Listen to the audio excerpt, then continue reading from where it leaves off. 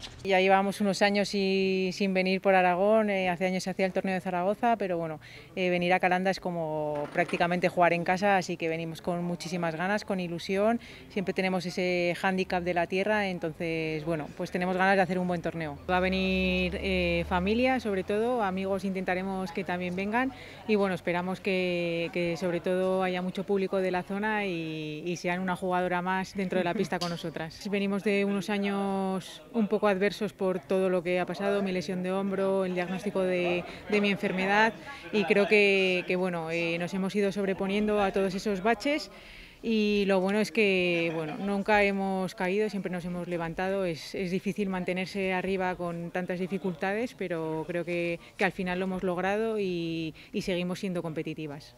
El MAPI tiene una capacidad de superación que es admirable y a, bueno, eh, sobre todo ya no solo por la enfermedad, que obviamente sí, pero bueno, ella siempre lo ha demostrado a lo largo de todos estos años y bueno, sí que es verdad que en los últimos años quizás se ha acentuado más por la lesión del hombro ya fue dura, pero bueno, la, el diagnóstico de, la enfermedad el año pasado también fue muy duro para todos y, creo que, que, bueno, el también saber eh, jugar y competir eh, con esa adversidad que ella tiene, pues es de admirar, ¿no? Entonces, bueno, pues esa capacidad de, de superación es la que yo destacaría en MAPI.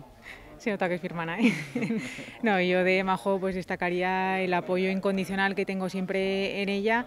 Eh, gracias a que es mi hermana y mi hermana gemela, pues todavía ese apoyo es, es más y, y, como he dicho otras veces, creo que si no estuviese jugando con ella, quizá habría dejado de jugar ya pádel. Depende también, eso depende un poquito del momento de la temporada en el que nos encontremos. Es verdad que, que bueno, los primeros meses, eh, enero, febrero, que es más eh, pretemporada, pues sí que es verdad que tenemos mayor carga y mayor volumen de trabajo, metemos muchas más horas de, de físico y de, y de trabajo en pista, pero bueno, ahora que llega, por ejemplo, una temporada donde hay muchos torneos seguidos, pues eh, tienes que apoyarte en esa base que has creado y, bueno, pues quizá los entrenamientos son con menos carga, pero son de más calidad, ¿no? Entonces nos apoyamos más en la cantidad y no en la, y no la, y no la cantidad.